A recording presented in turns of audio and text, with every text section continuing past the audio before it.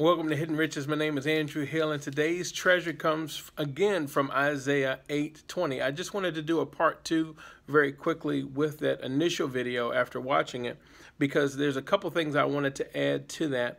The first thing I want to say is that when someone is prophesying, the prophecy and prophetic word should lead to Jesus in some way or another, whether directly or indirectly. The prophet's job or seer's job is to point back to Jesus. It's to point to him, his coming, his kingdom, his government, how he's ruling, intimacy with him, getting to know him better. That is what a prophet is doing. The prophet is pulling the church in particular, and sometimes the world or nations, away from idolatry, um, adultery and moving them towards faithfulness with God. That's that's a primary. So in the prophecy that's going forth, in prophecy that's going forth, where there's edification, comfort, strengthening, encouragement, there should be some finger that points to uh, Jesus. In fact, sometimes in dreams and in visions, if there is a hand uh, the first part of the hand, the thumb, is the apostle. Sometimes it's symbolic. It's symbolic of the fivefold ministry, and the thumb that is at the base of the hand, which the other four are built upon as a foundation, is the apostle. But the one who is pointing in a direction is the prophet. And then it goes the evangelist, because the evangelist uh, is the furthest one out and can reach the farthest, and then uh, pastor and teacher. And the teacher is able to fit within the ear, and the pastor has the ring and relational uh, marriage, those kind of things, and the teacher, of course, can reach deeper into the ear. So, with that said, the prophet is always pointing toward Jesus. Another thing is that no matter how strong the prophecy is, and if it's talking about plagues, if it's talking about disaster, uh, any of these things that the person is relaying from heaven, from God's perspective, we it sets up a prayer agenda. Prophecy is designed to set up a prayer agenda. This is a huge point because sometimes people will see prophecy as inevitable.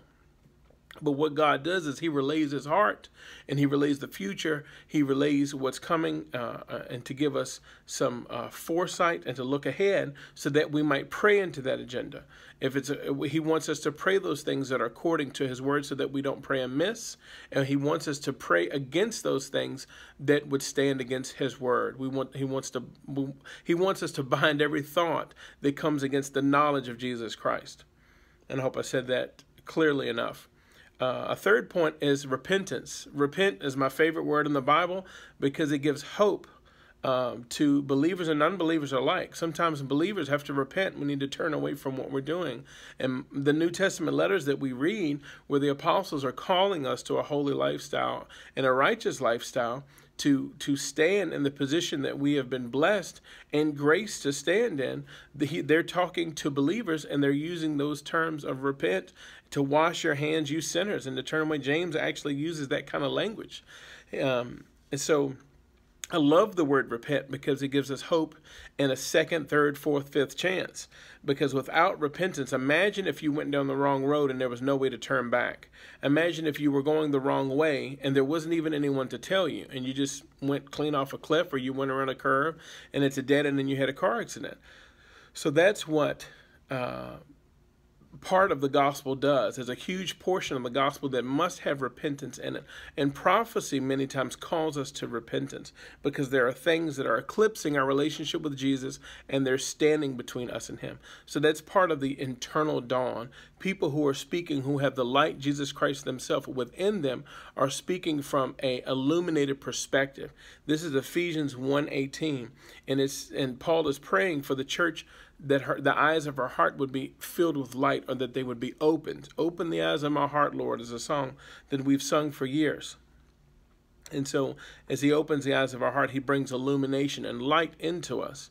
Proverbs 20 27 says, The spirit of a man is the lamp of the Lord, searching the innermost part of his being.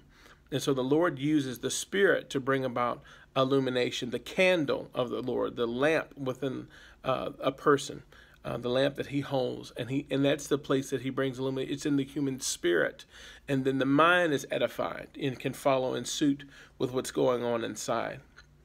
So when you receive a word, whether it's you hear the word in your with your spiritual ears and your spirit, or you see the word with the eyes of your heart through a vision, or uh, it causes your body to tremble. Isaiah 66 says that, uh, uh, that God is seeking those who tremble at his word. It causes you to have a physical reaction. No matter how you receive it, uh, that word is going to have within it a redemptive, uh, holy, hopeful quality built in to it. Uh, and that's the package of heaven is to see people turn to Jesus. How good is that? Love you guys.